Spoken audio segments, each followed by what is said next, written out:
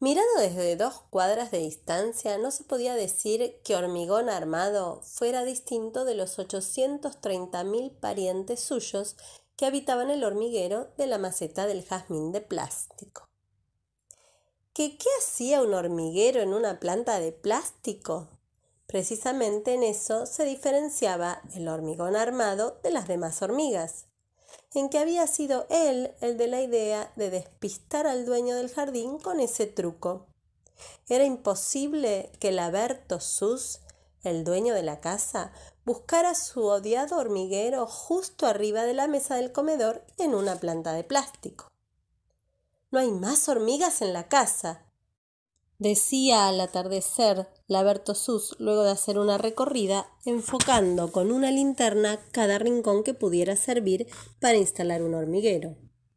No hay más hojas en los malbones, le respondía su mujer. Las hormigas no están por ningún lado, querida, le explicaba Laberto Sus con una sonrisa tranquilizadora. Los pétalos de las marimonias tampoco, le recordaba su esposa imitando su sonrisa.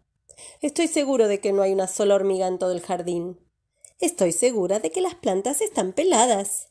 No hay más hormigas, no hay más plantas. Variados habían sido los intentos de Laberto Sus para encontrar el hormiguero. Primero se había comprado una lupa con el doble propósito de escudriñar por toda la casa y de atacar el hormiguero.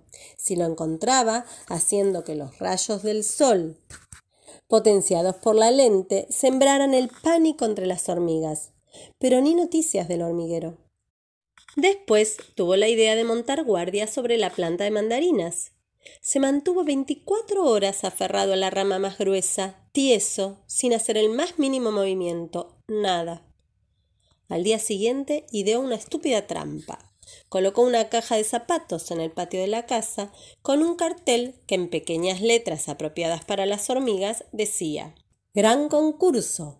A las primeras diez mil hormigas que entren a esta caja se las premiará con un frasco de dulce de leche y un viaje a un ingenio azucarero en Tucumán.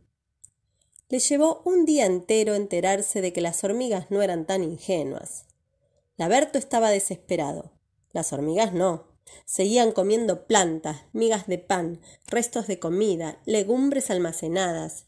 Para colmo, la señora de Sus presionaba a su esposo diciéndole Laberto, estoy harta de las hormigas. ¿Ellas o yo? Ya sabes a qué me refiero. La situación llevó a Laberto a los límites de la desesperación y la locura. Sin embargo, con el último resto de equilibrio mental, concibió un plan definitivo roció con litros de vino toda la casa, armarios, muebles, ceniceros, piso, televisor. Esa noche fue catastrófica para las hormigas. En lugar de ir y venir por el mismo camino y darse un beso cada vez que se encontraban, esta vez hicieron el trayecto dando tumbos, haciendo cómicas reverencias y extraviándose por cualquier camino. Ninguna logró arrastrar alimentos hasta el hormiguero de la planta de plástico.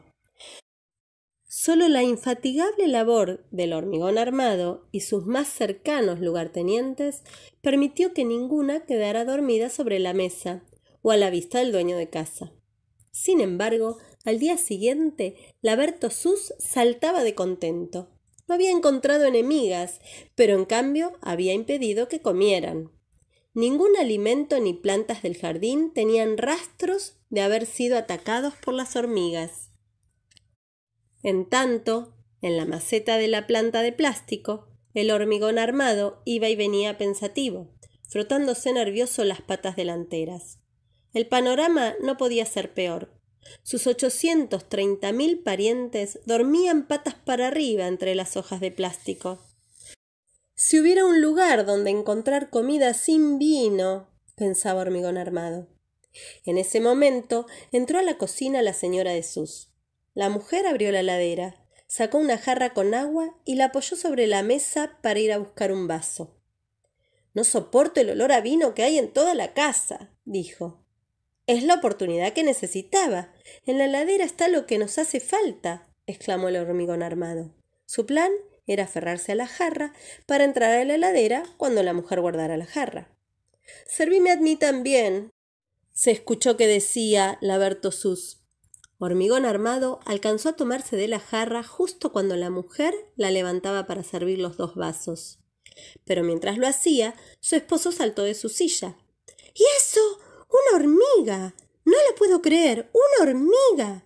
gritó mientras con dos dedos tomaba hormigón como prisionero. La Bertosus se las arregló para sacar la lupa de un mueble sin dejar de mirar hormigón ni un instante. Vos y yo tenemos que hablar, repetía el hombre. Después metió hormigón dentro de un dedal de donde no podía escapar y le habló, acercando su enorme boca. Hormigón estaba aterrorizado. Hablaron casi una hora. Desde ese día, la Bertosus y su señora tuvieron el jardín más lindo del vecindario. Pero la Bertosus se convirtió en una de las personas más ridículas del barrio.